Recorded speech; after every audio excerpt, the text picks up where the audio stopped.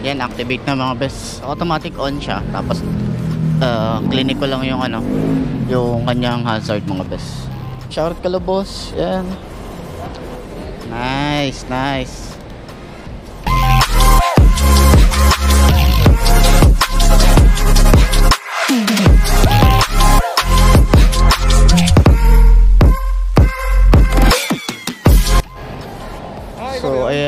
Kanyang panel gauge mga best. Yan. Ganda. oh. Wala mga best. Yan. Nice one.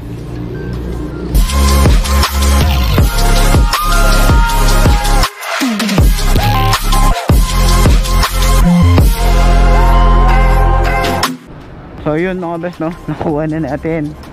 Nakuha na natin si Pepe. So ngayon buksan natin yung mali na buksan ko. Gas yan. Sit. Yan. So tatanggalin na natin yung kanya stick mga best. Tanggalin na natin. Yan, tanggal na natin yung kanyang ah, medyo kinakabahan ako. Nandito na susi sa atin yung isa. No? Ganito pala yung feeling kapag bago yung motor mo.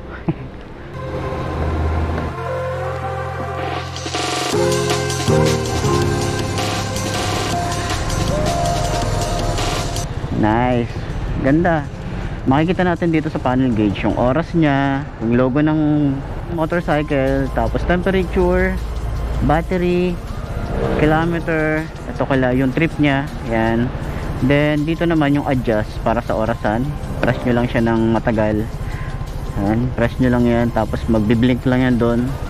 Tapos, yan. Pwede nyo palitan ng AM, PM. Yan. Tapos, press nyo lang tong sa kabila makikita naman natin yung Fahrenheit nya MPH nya yan. Tapos yung mileage nya yan.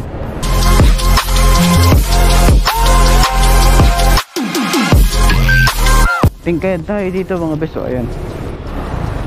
Ang lakas ng preno. Medyo sinasanay ko pa yung sarili ko. Mabigat din yung motor mga bes.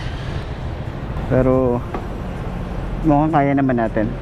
Kinakabahan ako parang yung naalala ko nung nilabas ko si Nepnet ganito, ganitong ganito din. Yung feeling ko na parang ano, parang nakakaba siya ilabas. Ewan ko ba, parang ah, kanyang side mirror pala mga best malaki naman, kita naman yung sa likod yan so kinakabahan talaga ako. Alam mo binili mo na yung isang bagay pero kinakabahan ka pa din Ah, Diyos Villa Marimar. Nakabahan ako. May uwi na rin kita.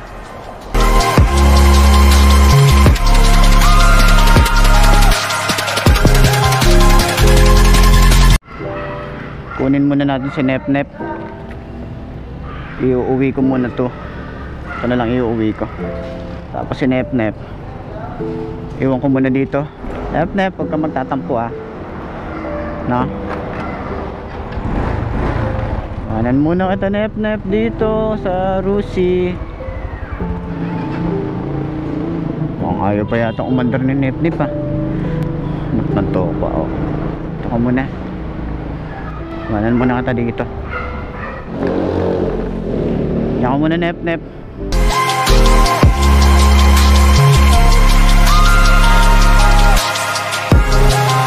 bless po Lord. Please Lord, wag niyo po akong isisemplang. Please, please, please. Ayaw nga pala. Certificate nga pala. Nakalimutan ko na. Certificate ko nga pala, no? Kabago-bago lang, mahuli na agad. Magpapareserve kayo kay Boss Jomar, yan. Napaka mabilis. So yan, nakuha na rin natin yung certificate nga pala mga best. So valid yung uh, certificate nila ng 1 month mga best, no? Para doon sa mga kukuha, at least, di ba? Pero, hindi valid yun kay LTO, no? Kaya iwas-iwas tayo kay LTO kapag babiyahe tayo nang wala tayong ORCR, no? Nasa batas naman yan mga best. Tingkayad pa nga ako eh. Ha? Tingkayad ako. Okay, una na ako boss. Maraming salamat ha.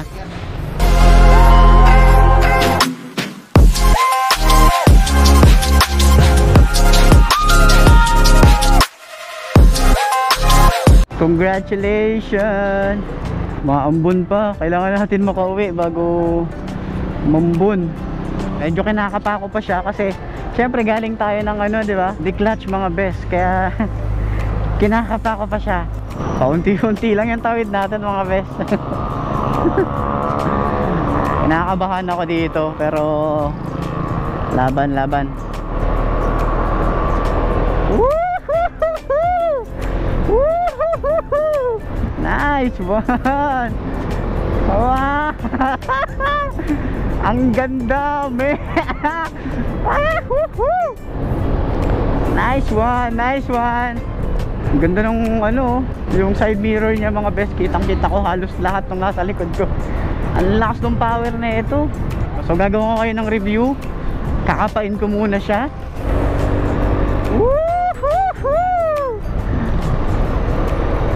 Wow, ganda, ganda ng suspension. Nice. Nice one. Lord, thank you po Lord. Na-overwhelm ko. Medyo ano nga lang talaga ako mga best. Kinakabahan lang talaga ako. Unang rides namin ni Pepe. Nakakatuwa naman. Nakakatuwa siya. Yung gas nga pala na ito. Kaya mo na nga. Kasya naman to hanggang ano. Bukas ko na lang pagagas to. Napakasarap naman na ito mga best. Kapiga-piga ka na lang. Hindi ako nag-aalangan dito kasi kaya naman niya eh. Matik naman to eh. Paakyat kasi to mga best. Kaya medyo ano ako dito. Kailangan pa rin natin mag-ingat no. Pero magaan na yung motor eh. Magaan yung motor kapag umaandar na eh. Pero pag naka-stop talaga, napakabigat. Mabigat siya. Traffic yan. Okay naman siya. Ay, ano eh. Bumibira siya oh. May power eh. May torque eh. Nandun eh. Medyo delay lang siya. Pero, ayan. Ayan. Hindi naman siya gaanong ano. Medyo maano lang talaga yung preno niya sa harap. Hindi siya gaanong hindi siya responsive yung preno sa harap mga best no. Hindi ko nararamdaman na pumipreno siya pero dito sa may rear, syempre combi brake to. No, sabay yung dalawa. Kaya papacheck ko na lang din kung ganun ba talaga. So bibigyan ko na lang kayo ng review nito mga best no